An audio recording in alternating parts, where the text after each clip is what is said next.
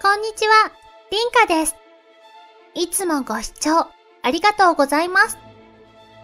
なんとなく何をやってもうまくいかない。努力はしているのに何か違う。そんなことってありませんか？実はそれは人生の転機の予兆なのかもしれません。本能的に今のステージから次のステージへの準備をし始めているのです。今日はそんな人生の転機に気づくためのサインをご紹介いたします。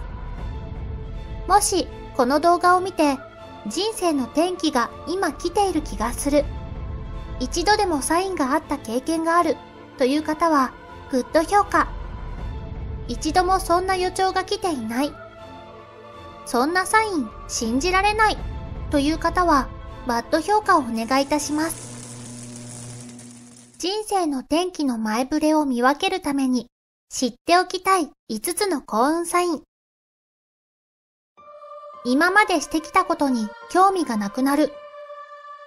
今まで何の疑問も持たずにしていたことに対して急に違和感を持つようになります。なんとなくやる気が出ないのです。あんなに情熱を持ってしていた仕事から恋愛から自分の興味が薄れていくのです。投げ出したくなってきて、ついには関わり合うことさえ疎ましくなります。いろんなことに対して興味で行っているのではなく、義務感で行っていると感じます。そんな気持ちは人生の転機の予兆です。例えば仕事なら、今の仕事から離れて次の仕事へ向かう時期なのかもしれません。すぐには辞める必要はありませんが、あなたの天気に対するアンテナの感度は異常に高くなっています。何気なく転職サイトを開くと、あなたに響くメッセージを発している会社が見つかったりするかも。そこに思い切って応募すると、不思議なことに、話がトントン拍子に進んでいくことがあります。それは、スピリチュアルにあなたとその会社は引き付け合っているということ。恋愛でも同じです。長い片思いに冷めてしまったり、ずっと一緒にいた彼から突然心が離れていってしまったりするのです。そんな時には思い切って古くなってしまった気持ちを捨てて新しい恋を探すのです。人生の転機には向こうから新しい恋が近づいてきます。今までしてきたことに興味がなくなることは人生の転機の前触れなのです。疲れやすくなる。どれだけ寝ても眠くなる。疲れやすくなる。あるいは、どれだけ寝ても眠くなるのは、スピリチュアルなメッセージをあなたの頭の中に送ろうとしているからだと言えます。魂との会話をしているのです。眠っている間に自分が気づいていない本当の自分との会話をしているのです。スピリチュアルな会話には多大なエネルギーを必要とします。だから眠いのです。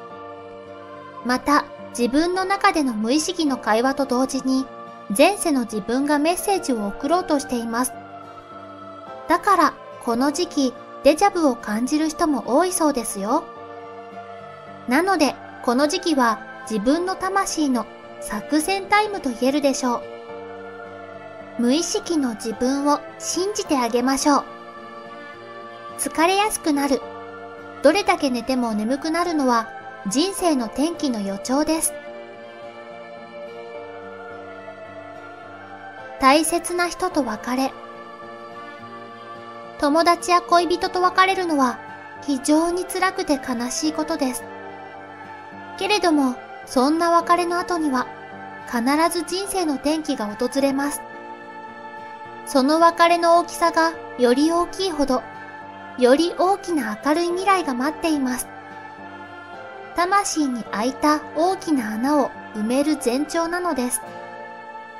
魂の大きさは、あるいは形は人によって様々です。いろいろなものでいっぱいになった魂には、もう何も入りません。どれだけ大きいカバンでも、そのカバンの中身がいっぱいなら、それ以上何も入らないのです。大きな穴を埋めるのは次のステージの自分にふさわしい人です。魂の声を素直に、謙虚によく聞いて、それを信じることです。あなたにふさわしい人が現れて、その穴を埋めてくれます。大切な人との別れは人生の転機のサインなのです。新しいものが欲しくなる。ふと古いものをすべて捨て去って、新しいものに買い替えたいという気持ちに襲われることがあります。それは自分の中にある古い風を捨てて、新しい風が迎える準備をしようとしているのです。例えば、急に部屋の模様替えをしたくなるとき、それは風水ではあなたの変化を感じ、さらに良い方向へ行くように自分の無意識が働いて、その行動を起こそうとしていると言えます。魂の声に従うことで、もうそこまで来ている人生の転機をお迎えするのです。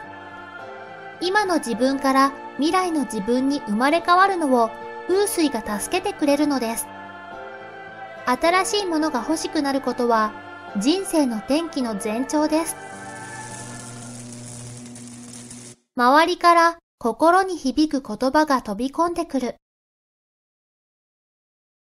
友達と会話で今までとは何とも思わなかった言葉が引っかかって心に響くことがあります。どこかお店にいる時に BGM にかかっていた曲の歌詞が何度も何度も自分の中でリフレインすることがあります。何気なく立ち寄った本屋さんで急に自分に突き刺さる本のタイトルが飛び込んできたりすることもあります。そんな時は脳が自分に必要としている言葉、あるいは無意識の迷いの答えになる言葉を探しているのです。あなたの脳のアンテナの感度が高まっているのです。自分のアンテナを信じましょう。そのアンテナを立てたのは他ならぬあなた自身なのです。周りから心に響く言葉が飛び込んでくるのは人生の転機のサインです。重大な選択を迫られる。人生の転機は時には試練を与えます。しかし、それを乗り越えなければ幸福はありません。究極の二択を迫られた時には、じっくり考えて、後悔しない答えを出すことです。例えば、二人の異性から同時に告白されることがあります。どちらかを選ばなければいけません。どちらも選ぶ。つまり、二股は許されません。あくまで二択なのです。選ばない、選べないという選択肢はありません。そこはあなたの分かれ道なのです。選択の結果、とても大事なものを失うこともあります。けれどもそれが人生の岐路というものなのです。あなたが信じた道なら、きっとそれは間違っていません。重大な選択を迫られるのは人生の転機の前兆なのです。以上、人生の転機の予兆をご紹介いたしましたが、いかがでしたか？それでは、本日もご視聴ありがとうございました。また次回の動画でお会いしましょう。